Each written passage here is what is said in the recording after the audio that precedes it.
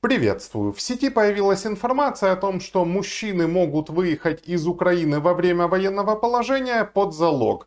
Так ли это на самом деле, мы сейчас и разберемся. И для того, чтобы нам это сделать, нам нужно вернуться немножечко обратно во времени, а если быть точнее, в сентябрь 2022 года. Именно тогда был подан законопроект 8029, которым и предполагалась возможность мужчин выезжать из Украины под залог. И там устанавливалось э, обязательство мужчин, что если ты выезжаешь и у тебя нет оснований для выезда, да, которые предусмотрены правилами пересечения госграницы, то ты потом будешь выплачивать э, ту сумму, которая равняется ЕСВ с минимальной заработной платы. А если ты выехал до того, да, до того, как был принят этот закон, то ты для того, чтобы вернуться в Украину, должен будешь э, выплатить 10 э, минима... прожиточных минимумов за каждый месяц пребывания за границей. И только тогда, мол, ты можешь вернуться в Украину. Это было, подчеркиваю, в сентябре 2022 года. И сейчас, спустя год, Данный законопроект был внесен в порядок денный и поставлен Верховной Радой в список тех законопроектов, которые они будут рассматривать. Это было сделано 5 сентября 2023 уже года. Как мы можем наблюдать на сайте Верховной Рады, ссылочку я вам дам, там позиции в отношении этого законопроекта разделились. И некоторые комитеты сказали, окей, давайте включим и там какие-то правки внесем и будем рассматривать этот законопроект. А какие-то комитеты сказали, что нет, этот законопроект не может быть принят, потому что он противоречит Конституции. Ну и действительно это есть, то есть э, не все нормы, которые есть а, в законопроекте 8029, они соответствуют Конституции. Но что мы имеем на сегодняшний день? На сегодняшний день мы имеем выводы комитетов по этому законопроекту, причем не все эти выводы положительные. Законопроект 8029 внесен в порядок рассмотрения в Верховной Раде, но он еще не рассмотрен, то есть он не прошел даже первого чтения, а соответственно на сегодняшний день никакой возможности выехать под залог из Украины у мужчин нет. То есть эти вопросы, они рассматривались, если вы помните, был даже проект такой, анонсировался Кабмином, как Евидряджиня ничего не заработало. Ничего. Пока все, что у нас есть, это вот этот законопроект. Естественно, я за ним слежу. Естественно, если он будет принят, я сделаю видео с подробным разбором и расскажу, как это можно реализовать будет. Но мне думается, что в том виде, в котором он есть, да и сама идея не будет принята. Почему? Потому что это введение, да, вот принятие такого законопроекта, это по сути введение имущественного ценза в Украине. То есть если сегодня мы говорим, что, э, ну, скажем так, есть неофициальные данные, да, что человек, у которого есть деньги, он может найти человека, который хочет деньги, э, соответственно, платит деньги, ему делают белый билет, делают шлях, еще что-то делают, и он выезжает из Украины. То есть вот этот имущественный ценз, он, ценз, он такой незаконный то вводить имущественный ценз на законных основаниях, ну, мне думается, что Верховная Рада на это не пойдет, потому что, ну, это, опять же, некоторый взрыв вызовет в обществе.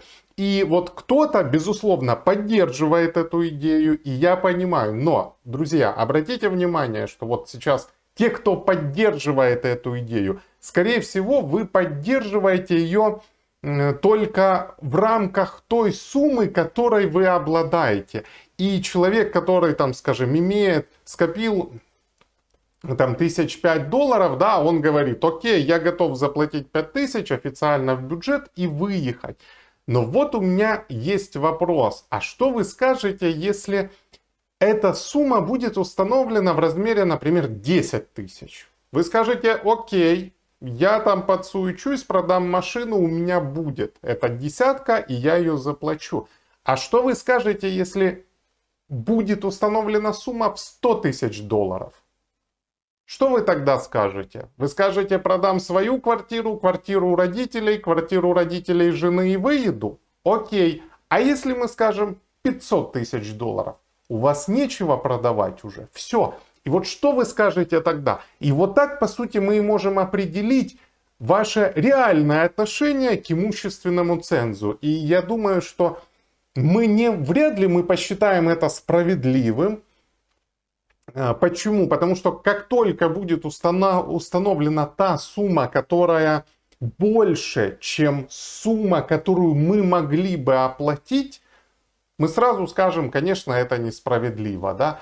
И мне думается, что все-таки в принципе сама идея имущественного ценза, она неправильная, потому что она тогда разделяет людей э, в зависимости от того, какой у них кошелек, да, на тех, кто будет проживать в Украине и тех, кто может выехать, да, и жить в безопасности. Понятно, что по факту сейчас это так и есть, но хотя бы сейчас мы говорим, что это незаконно, мы можем апеллировать к закону. Мы даже видим, как отдельных людей привлекают к ответственности в подобных ситуациях, но в глобальном смысле выводить это на уровень закона ну, мне кажется, это будет неправильно. Вот с точки зрения там, тех правовых принципов, принципов справедливости в первую очередь, э, принципа равенства да, всех людей. Поскольку мы тогда, э, даже если сейчас мы говорим, что там не равны э, там, обычный человек да, и чиновник не равны, то тогда мы уже будем четко